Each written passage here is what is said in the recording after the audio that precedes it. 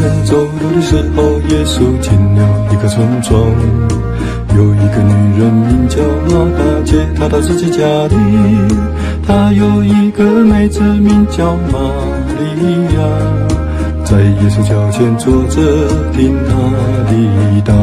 马大时候的失落，心里忙碌，就近前来说主啊，我每一次留下我一个人时候，你不在意吗？